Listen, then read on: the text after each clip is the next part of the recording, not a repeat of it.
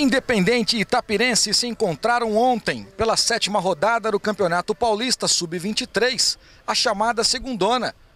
O Galo começou a rodada com sete pontos na terceira posição.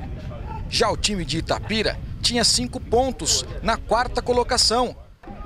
Antes do segundo minuto de jogo, na cobrança de escanteio, Júnior testa firme para o fundo do barbante. 1 a 0 Itapirense.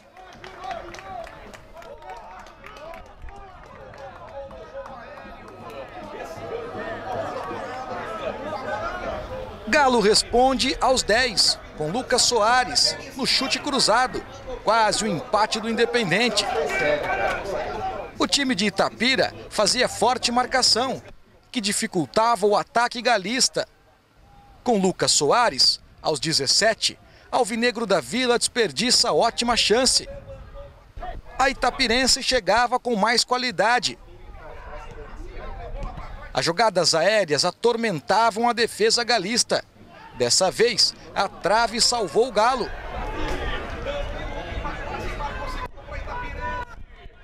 Nesse lance, com razão, o Independente pediu falta, não marcada pelo árbitro Diego Augusto Fagundes.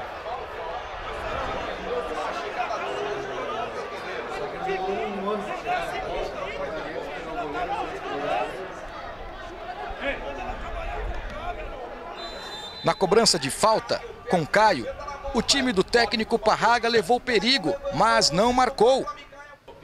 Aos 39, Matheus Petrulho bate forte, Quinzel espalma, quase o empate galista. Perto do fim da primeira etapa, blitz do Independente para cima da Itapirense. Aos 44, pela segunda vez, Danilo vai na trave. Faltou pouco para o Coelho marcar o segundo. Na cobrança, Henrique sobe bem e pega. No último lance do primeiro tempo, Léo Braz acerta um tubaço.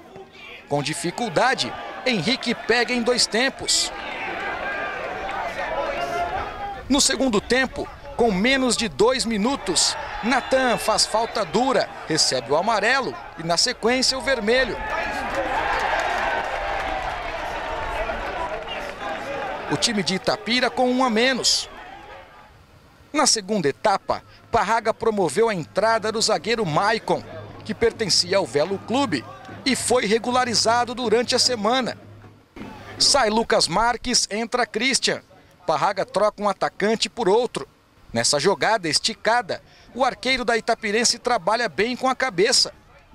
Aos 13, Maicon perde ótima chance de empate.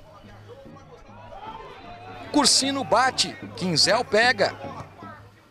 Com um a mais, o Galo pressionava. Igor Henrique bate e o arqueiro pega. Na jogada seguinte, aos 19, a bola sobra para Christian, que desperdiça a chance incrível. Quinzel pega mais uma vez. A Itapirense chega a uma. Duas vezes.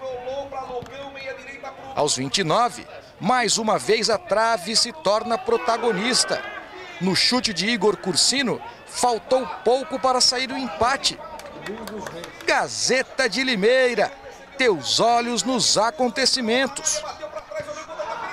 No contra-ataque, pressão do Independente, que fica no verdadeiro paredão da Itapirense.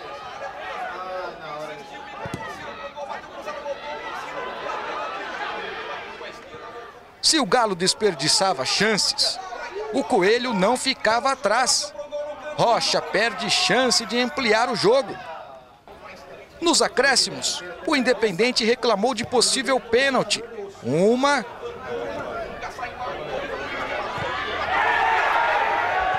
duas vezes.